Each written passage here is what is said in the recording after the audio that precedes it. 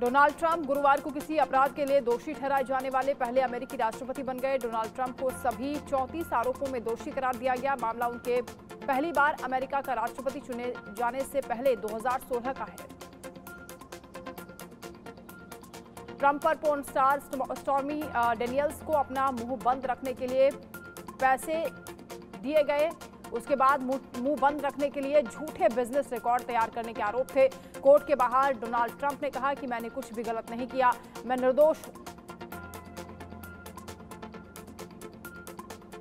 Iran का कहना है कि सऊदी अरब ने उसके छह सरकारी पत्रकारों को हिरासत में रखने के बाद वापस देश भेज दिया है।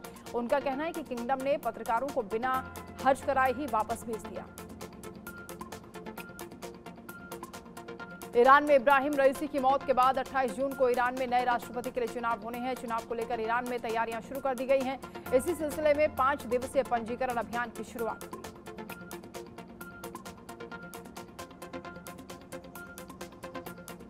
चीन ने अपने कब्जे वाले तिब्बत में शिगात से एयरबेस पर J twenty fifth fighter jet की कम से कम एक स्क्वाड्रन को तैनात कर दिया है। लोकेशन भारत के पूर्वी क्षेत्र में लाइन ऑफ़ एक्चुअल कंट्रोल, यानी एलएसी से केवल 150 किलोमीटर दूर है। सीपीईसी, यानी चीन पाकिस्तान आर्थिक गलियारा के भविष्य पर सवाल उठने लगे हैं। चीन ने पाकिस्तान से दो टूक कह दिया है कि सीपीईसी का भविष्य चीनी नागरिकों और निवेश की सुरक्षा पर निर्भर है। दरअसल पाकिस्तान में चीनी नागरिकों पर हमले लगातार बढ़ते जा रहे हैं। इन हमलों को लेकर पाकिस्तान सरकार कोई भी प्रभावी कार्रवाई करने में विफल रही है। यहाँ तक कि पिछले कई हमलों में शामिल किसी भी आतंकवादी को पकड़ा नहीं जा सका।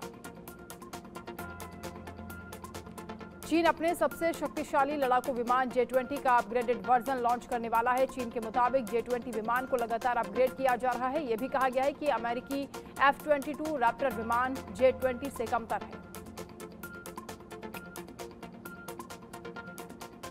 चीनी सैन्य विमानन विशेषज्ञ फू कियान शाओ के मुताबिक जे ट्वेंटी को नवीनतम तकनीकों से लैस किया गया है, जिसमें एरोडायनामिक डिज़ाइन में बदलाव और नए इंजन के साथ रडार सिस्टम, सॉफ्टवेयर और सामग्री शामिल है।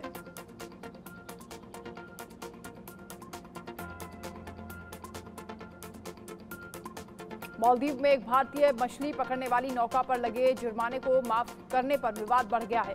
मालदीव की सरकार ने जुर्माने को माफ़ करने संबंधी सवालों पर चुप्पी साध ली है। सवाल पूछने वालों का दावा है कि मालदीव के राष्ट्रपति कार्यालय के पास माफीनामे की शक्ति नहीं है।